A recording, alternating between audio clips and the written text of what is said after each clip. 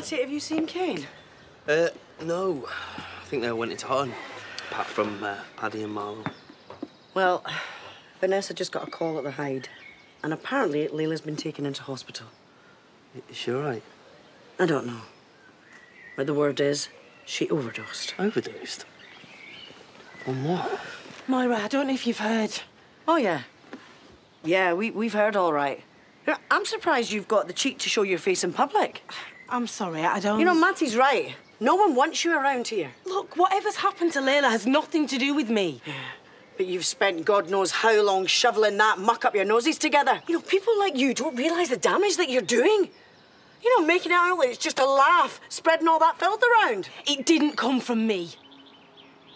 Did it, Matty? What? What are you talking about? What was it you said to me last week? That I better watch my back? And now someone's gonna put a bagload of coke in the boot of my car? Well, guess what? It was Leyla's, not mine. And she took it back. And look where she is now. Is this true? Next time you want to try and trash someone's life, make sure you get the right person.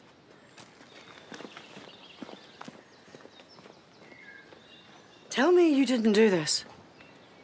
Oh, are you off your head? Planting drugs in her car? Are you really that full of hate? She's never been punished, Mum, for what she did. Aye, but that doesn't mean you go and set her up. She could have been sent down for years. Good.